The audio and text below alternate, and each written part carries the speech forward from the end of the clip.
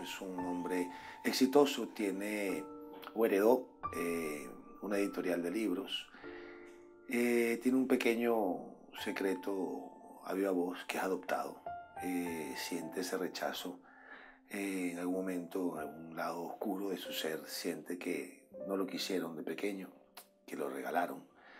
Pero da gracias a Dios por la familia que lo adoptó, una familia maravillosa, que lo quiso, que lo hizo quien es.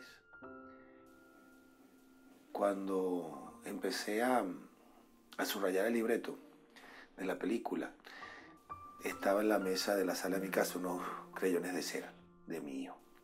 Y subrayé mis textos, mis diálogos con los crayones de cera, porque eso me iba a ayudar a pensar en el gran amor que le tengo yo a Salvador, que es lo que Alonso quiere dar.